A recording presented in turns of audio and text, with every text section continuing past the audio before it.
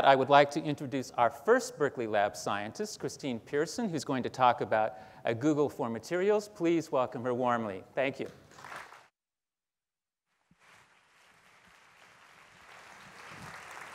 Jeff, thanks, thanks so much. Um, it's a pleasure and an honor to be here. Um, I'm going to be talking about a Google for materials. And why would we want that? Um, I happen to think that materials enable society and they change the way we do things.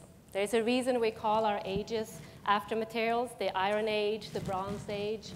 Uh, our own communication age is only possible because we found materials that can transmit signals for huge long distances without being perturbed, without changing the way they look. And I've added some other examples here. We today build bridges and airplanes out of carbon fiber composite, um, which is, makes them lighter, cheaper, and they last longer. Uh, one of my favorite examples are nylons. Um, we came up with them because we wanted to make lighter and more durable parachutes, but of course DuPont realized they were sitting on a gold mine. Um, so how do we come up with new materials? How do we come up with things that make these amazing changes to society and that we can enable new technologies and even societal changes? Well, there's the Edison style. Edison in the late 19th century um, tried to come up with a filament for the light bulb that he had invented. And he painstakingly tried 3,000 materials over years to come up with the best one. Um, he didn't. The one that we use today in the old kind of style light bulbs, tungsten, wasn't among those 3,000 materials. So he suggested carbon, carbon coming from bamboo.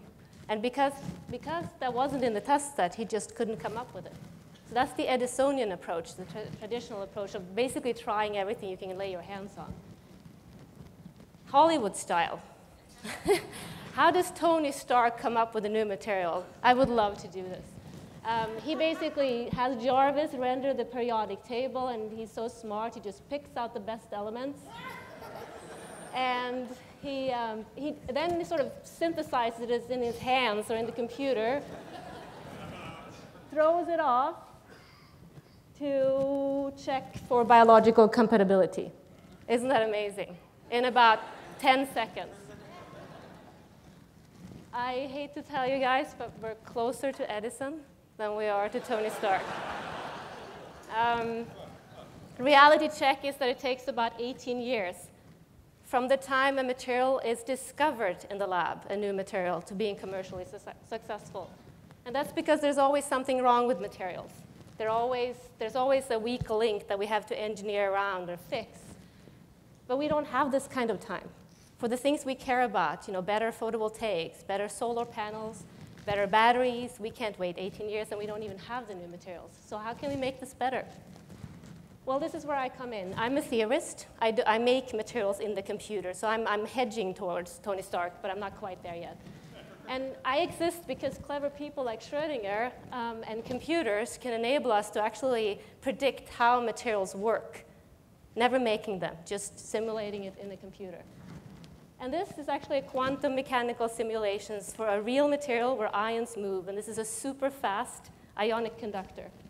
This, could, this is a material that could enable our lithium-ion batteries to become a lot safer because it would have a solid state electrolyte and not one that burns. That's one computer. If I had NERSC, if I had a whole supercomputing center at my disposal, I could predict materials, I could predict properties for thousands of materials per week. Imagine now suddenly Edison throwing his 3,000 at me, I could crunch through that in a week. He took years to do it. So this is how two amazing things, the, the ability to solve the laws of physics and our computers enable us to actually screen materials in silico. And I wouldn't be standing here if it hadn't actually worked or if I didn't believe in it to the point where I've seen it work. In 2004, 2005, I was at MIT, and I was working as part of a team um, to come up with a new uh, cathode for these little rechargeable alkaline batteries, which I bet is in this little dude, for example, or non-rechargeables. Um, we screened over 100,000 materials in the computer.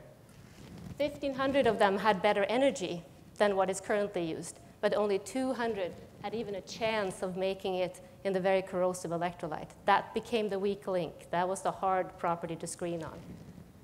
That was just the beginning. Since then, we've screened and found novel classes of lithium-ion battery electrodes. Uh, we've come up with um, improved transparent conductors, which is one of the materials that go into our um, solar panels to make them cheaper and better. But where do we want to go? And this is where I turn to the children in, in, the, in the audience. Um, when I, I have two daughters, one in middle school and one in elementary school, and if I ask them, give me a good battery material, come up with a material for me that is good for batteries, what would they do? They'd Google it, right? that's, that's, you know, that's the truth for you. You ask children.